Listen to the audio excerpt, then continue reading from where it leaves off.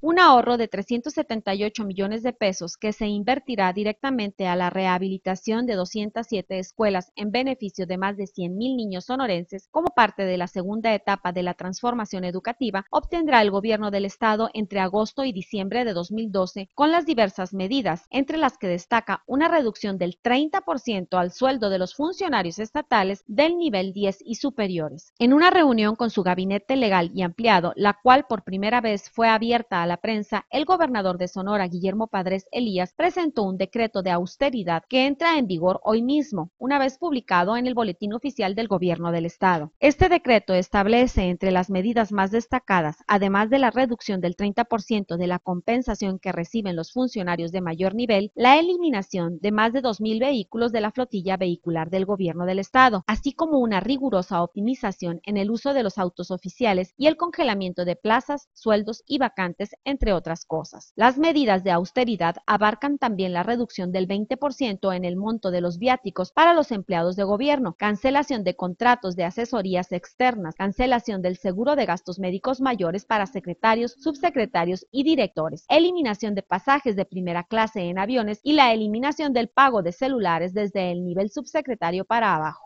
Al presentar el decreto e instruir a todos sus funcionarios al cumplimiento a cabalidad, el gobernador del estado estableció que todo el ahorro que se obtenga, calculando inicialmente que es de 378 millones de pesos, de aquí a diciembre, será etiquetado directamente al cuidado y en específico a continuar con el programa de rehabilitación de escuelas públicas dentro del eje de la transformación educativa. El día de hoy hemos acordado señores secretarios, los señores directores y su servidor, emprender eh, un proyecto importante y trascendente para el Estado de Sonora. El día de hoy hemos decidido reforzar el plan de austeridad, de ser un gobierno austero,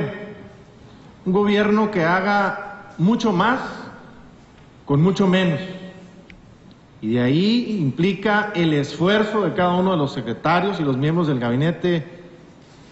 del gobierno del Estado, pero también de todos sus funcionarios. Y el día de hoy queremos compartir con los medios de comunicación que hemos decidido hacer un importante, un importante esfuerzo en la reducción de los salarios y del gasto del gobierno del Estado en beneficio de 100 mil niños en el estado de Sonora que conforman la segunda etapa de la transformación educativa. Importantes ahorros nunca antes vistos. Importantes ahorros que se van a traducir en beneficio de la sociedad importantes ahorros que van a traer mejores oportunidades hacia el futuro. Importantes ahorros y en estricto sentido se aprieta el cinturón el gobierno del Estado para que tengan mejores oportunidades los ciudadanos, los sonorenses, que son a quien se debe este gobierno sin duda alguna.